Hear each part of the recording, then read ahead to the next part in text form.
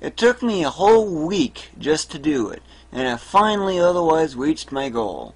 Or at least one of them anyway. What's my other goal?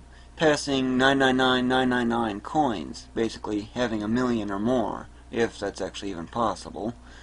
But does this cap at 999 or does it actually go even higher where 9999 is the limit? Yep, there's only one way to find out. And by the way, these numbers here give a good idea on the overall distribution of the various items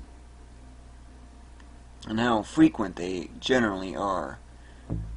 However, minor enemies, of which I've also done stuff with, also contribute onto these middle rank ones here, like this one here, for example, this as well, and as long as that as well.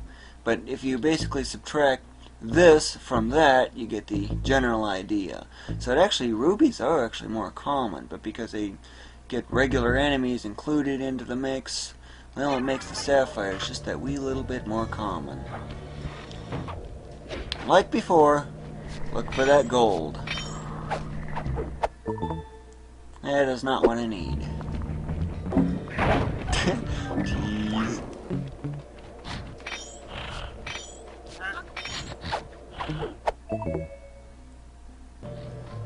So what is the enemy spawning algorithm? The enemy must be off screen, or otherwise just simply not visible, for at least 5 seconds, and then a new enemy of that same type, usually the same type, will replace it, off in the distance, also out of sight, although the lit part from the flashlights or whatever, that is not included.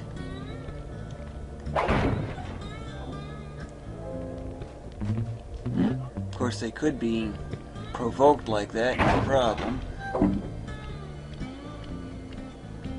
Yep, there's one, there's two actually. They don't take long. Of course, if you defeat one of them, then you got quite a bit of extra time just to wait, and what do you know, a little more progress. You have to wait one minute after you defeat an enemy, or smash a smashable, before it otherwise respawns. That barrel here, for example, if you come back a minute later, it'll be there. Unless, of course, it's been in view for that long, but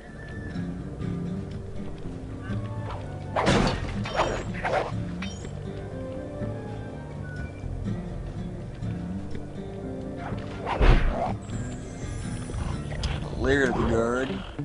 Nothing on it. Keys it again. More progress.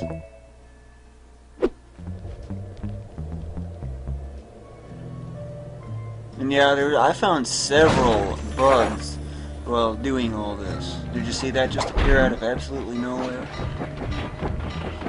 And this one's even rich too, what do you know? Saw another flashlight thing appearing out of nowhere. But to lure this one away, I'm gonna make it take a long detour. It's a safer way to getting rid of it. Hmm, tease.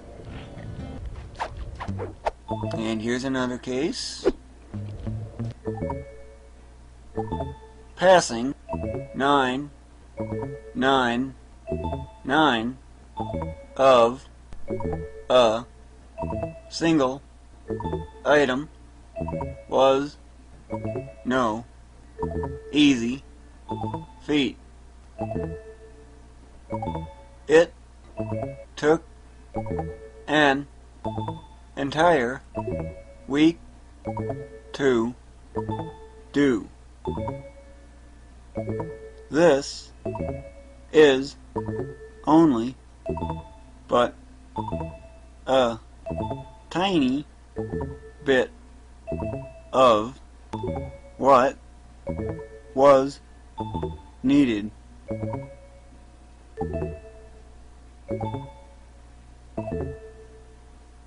Studying the enemy spawning algorithm has greatly sped up the process and This is what I went through.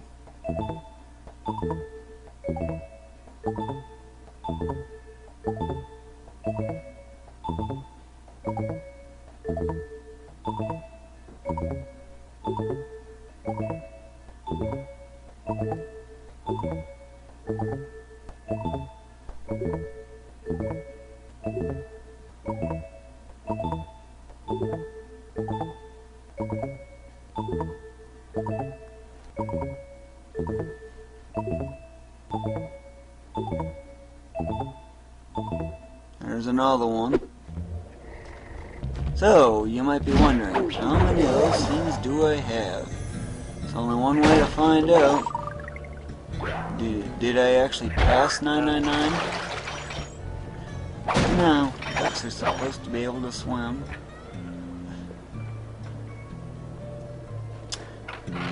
Let's find out. Can I have over 999 sapphires? And yes, you definitely can. Even rubies. Wow. So, oh my goodness.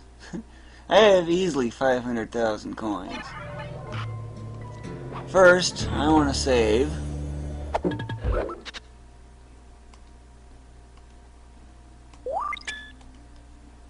And by the way, story-wise, I just started episode 6.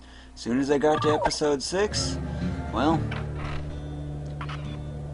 I stopped all the story progress because I found the map was very good, and the otherwise went from there. This will take a ridiculously long amount of time. But just watch those coins going up. Too bad I don't have a turbo controller. Guts.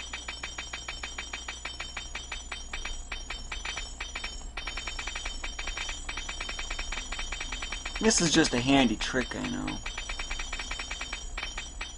I'm using two butt fingers to press the same button at once. It's less predictable, but oh my goodness, it's a ton faster.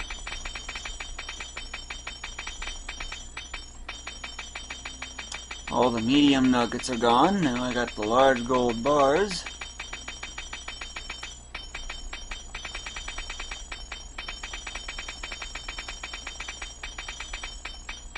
All the large gold bars are now gone. Now I got the topaz, only dropped from those small enemies. And then the huge monster here. I thought this was the limit, but apparently not. All the sapphires are now finally gone, and all these monster rubies that really give a lot of money. Or coins, I should say. We easily have over 120,000 coins worth on all these.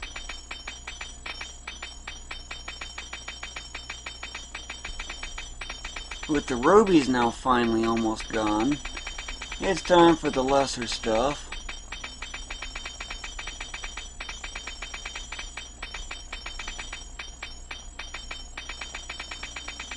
And finally, the very last item. This really kind of wears out your hand, don't it?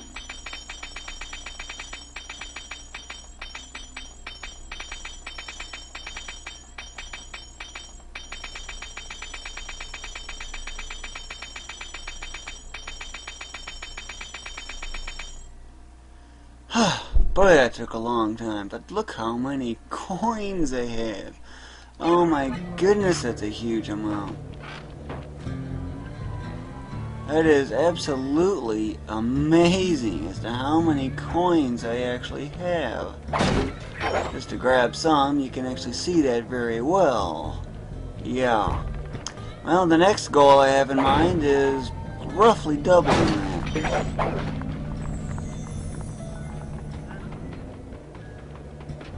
And just in case you're wondering, well, let's, I want to get over there first.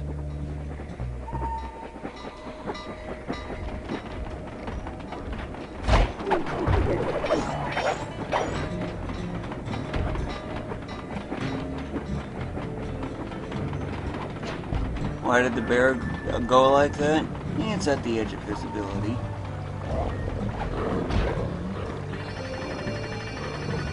That can be kind of fun to watch. This is basically what I need to do.